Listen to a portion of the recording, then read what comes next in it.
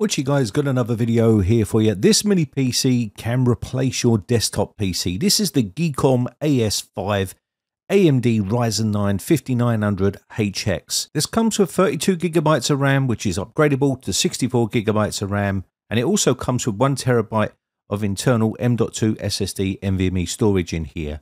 The price on this one is £589 at the time of making this video.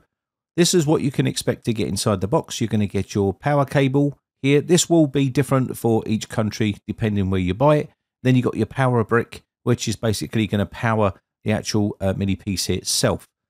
You've got a barrel connector on there, which goes into the back of the mini PC. You can pause the screen here and try to read those specs. I can't see them. But here we have a, a HDMI cable here, pretty long one. And also we have a bunch of different screws for upgrades. Whether you want to put an SSD in here, it gives you a capability of upgrading with these screws. So it has got two M.2 slots on here on this device. You've got your user manual and we also have our unit. Let's take a closer look here. Now the Geekom AS5 is powered by ASUS, which means it's going to have really quality components inside. You can see we do have a power button on the front here. Also have two USB 3.2 Gen 1 ports. Also another USB 3.2 Gen 1 Type-C port on here. Our audio jack input and our HDD LED on the front there. Let's move on to the side and take a look and see what we have here. We have also some good ventilation on the side here, as you would expect. Get some good airflow going through here. On the other side, we have the same on this side here. So good airflow here. The bottom has some ventilation as well. And we also have those uh, two screw areas where we can screw the backplate onto so it can mount to a monitor or something like that. On the back of the unit as well, we have our DC in. We have our three USB 3.2 Gen 1 ports here. Also another USB 3.2 Gen 2 Type-C port. We have a display port 1.4 and also two HDMI 2.1 ports on here. And we have our padlock area there, which means we can lock this system to whatever device we put it to to stop people from stealing it. And we also have that 2.5G uh, RJ45 LAN port there, which means you've got plenty of decent inputs on this device. You can have multiple displays and you can have super fast speeds. So really, really decent uh, mini PC. Let's take a look inside so you can actually see what's inside and how you can upgrade this mini PC. Just remove the four screws. They don't actually remove, they just unloosen here and then you can pull the uh, unit apart. Just be careful when you pull this apart because there is a ribbon cable here. But once you get this separated like this, we can then take a closer look.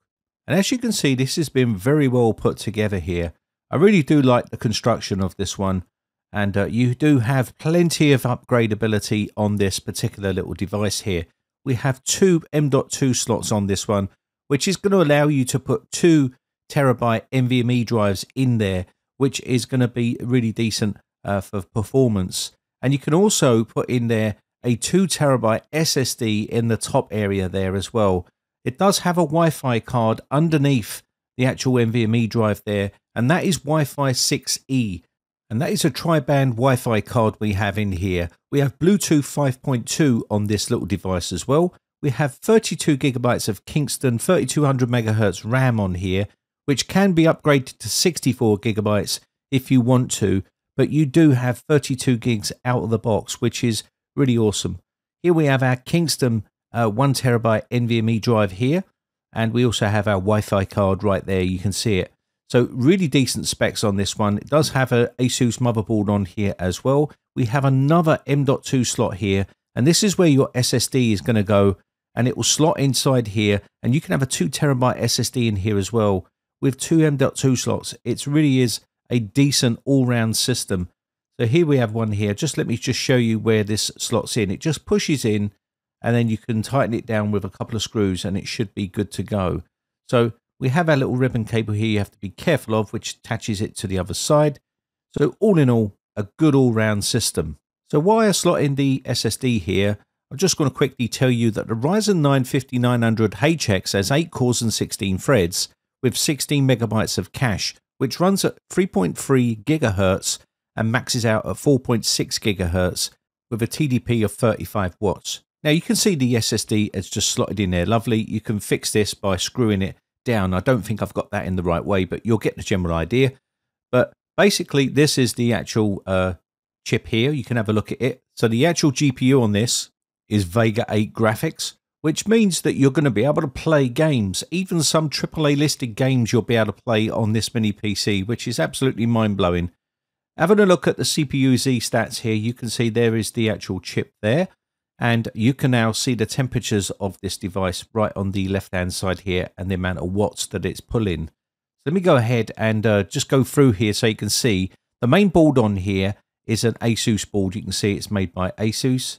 And uh, you can go through and have a look at the memory and it will tell you the memory is made by Kingston, which I've already explained. And it's 3200 megahertz of RAM, which runs on dual channel, which means it's not just one stick. We've got two sticks of memory in here, which is nice.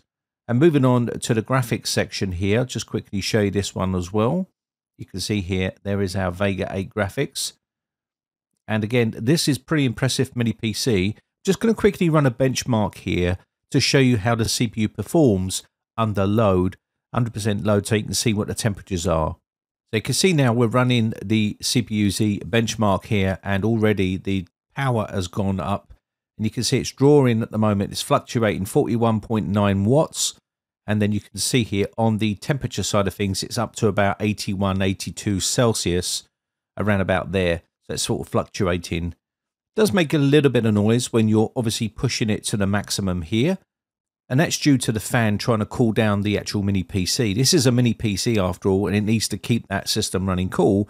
So when you're pushing it to its limits like this, which you're not going to hardly do all the time, it's not going to be noticeable. Let's take a look at the 3D Mark uh, Time Spy score, which is 1,488 which is pretty decent. And as you can see there, your score, average, and best down here. Remember, this is a mini PC, and you can see see the CPU and also the GPU uh, scores there. Also, the night raid score, which is your GPU, is 15,195. Again, it does give you an overall score there of CPU and GPU right there as well, if you want to see those. Now, that is the 3D Mark score. Let's do the Geekbench uh, test here as well, because I want to run that. Let's quickly run the Geekbench 6 benchmarks here for the CPU. You can see we're running on Windows 11 Pro here, and uh, we're running this uh, benchmark. You can see we've got the maximum CPU temperatures. It is around about 78, 76, 80. It keeps going up and down, and that's because it's being cooled. But this is under immense uh, load because we're doing a benchmark here. And the score we've got here for the CPU was on the single core 1919 and on the multi-core we're getting 7719 and uh, let's go ahead and run the GPU benchmark here. We're going to be running this on Vulkan here and we're going to go ahead and run this one and we'll see what sort of score we can get for the GPU so you can get an idea. So already you can already tell this is quite a powerful mini PC for doing all your tasks that you might want to do on this mini PC like Photoshop video editing and also gameplay. I'll show you that a little bit later on. But the thermals are pretty good here, no thermal throttling, and the score was 16,180 on the Vulkan score here, which is pretty good. So there's the Geekbench 6 scores here. Let's go ahead and run a Crystal uh, Disk Mark score for the actual NVMe drive here to see what sort of speeds we can get. Remember, this does have two slots, so you can put two drives in here, and they will take up to two terabytes in each of those. It does come with one terabyte in one uh, slot. So we got 3051 for the reads and 2600 for the writes there, give or take a few little digits, but you get the point. Pretty powerful uh, NVMe drive in there. So now let's run the Cinebench R23. Now, of course, you're not going to be torturing your mini PC the way I'm doing it here, one after the other, benchmark after benchmark.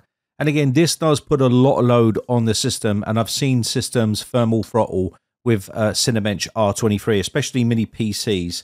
There's not many that don't thermal throttle at this sort of spec. And you can see this one's no different. It has got a bit of thermal throttling going on here. And that's because Cinebench is quite an aggressive benchmark tool. So the score there was 11,408 points for the Cinebench R23. And uh, yeah, I've pretty much seen this thermal throttling on a lot of mini PCs when you're running Cinebench, and that's why I tend to not run it as much on systems because it does absolutely torture the mini PC. And you're probably never ever going to do this on your system, but just for your purpose, I am just running it just so you get a good idea of the score and the sort of thermals that you can expect under full load like that. Now, if you're running 4K movies, it can handle those no problem at all. Uh, this device can run multiple monitors and you should get a beautiful display uh, on your monitor with this mini PC. No jerkiness or stuttering you're going to get from playback of all of your favorite movies. And uh, this is the purpose of this mini PC. It's not just built for movies. This mini PC is designed to replace your main PC.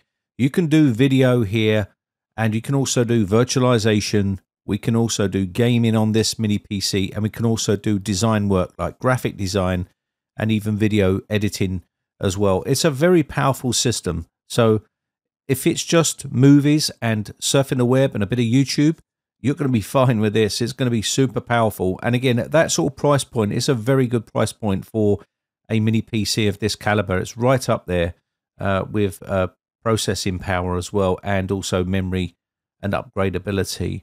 Now, we're going to also try and run these jellyfish programs. I like to do this one because this also tests the system as well. And we'll start off with the more easier one first, where I stop and start it and drag it along, and it instantly plays, and it's having no problem at all at playing these files. And these are high-end files. These is 120 Mbps, 4K, Ultra, uh, 10-bit, and this one is 400 Mbps, which is also 4K 10-bit, and it's having no problem. It's silky smooth. The playback is having no issues here whatsoever, and this is what you want from a mini PC, and you can see it there on the screen. Now, Big Buck Bunny, again, 4K streaming can handle this at all. You get a few drop frames right at the very beginning when it's first starting up, but once it stabilizes, you get no drop frames at all, and you should be able to enjoy all of your streaming on this device as well. So if Plex is your thing or maybe something else, you can do that as well. And if you're looking at gaming, it can also handle AAA listed games as well. Now this is quite a hard game to play, but I've used this deliberately so you can see the power of this little mini PC here. Now, of course, it goes without saying, if it can handle this game, it's going to be able to handle all of your retro games as well. And you're going to get good FPS and good uh, upscaling on those games as well. Now, this game is a pretty decent game to test because it is a very intense game for a lot of PCs to play. And you can see here it's handling uh, this particular gameplay no problem at all. Now, there's areas it drops under uh, 50, but 1080p gaming on this particular mini PC is doable on some games and even running at medium settings. So you can do it on a lot of games. And you can even go on high settings on some games depending on what the game is. So it is a very capable uh, machine to play AAA listed games, uh, no problems at all. Now, obviously, 60 FPS is probably the sweet spot where you want to be, and this does hit 60 FPS and even goes into 80 FPS in places. Now, again, there is a lot happening on the screen here. Uh, so there's a lot of graphics going on here for this mini PC to handle. Remember, this is a mini PC at the end of the day. It isn't a desktop PC with a massive big graphics card in it. It's handling this particular game with no problem at all here. There's no jerkiness or stuttering on this game. And if it can handle games like this, you can get a general idea of what it can do. Now, I was going to show you loads of different types of games, but I thought it'd be better just to show you one really hard to play game for a period of time so you can get a general idea of what the frame rates are doing and the utilization of the system. And you can see here, it's doing a pretty good job uh, playing this game. And uh, I'm pretty impressed with it, to be honest, for a mini PC today in 2023 that can handle this. And there's even newer processors coming out uh, as we speak, uh, the newer generations coming out all the time. So these mini PCs are just growing in stature all the time. And they eventually probably could replace a desktop PC uh, for a lot of people. So, anyway, with that said, I think that's going to be about it for this video. I'll leave all the links and information in the video description. My name has been Brian from briteccomputers.co.uk. Just want to say a quick shout out to my YouTube members. I appreciate the support, and I shall catch you in the very next video, or I'll see you on the Discord server for a chat. Thanks again for watching. Bye for now.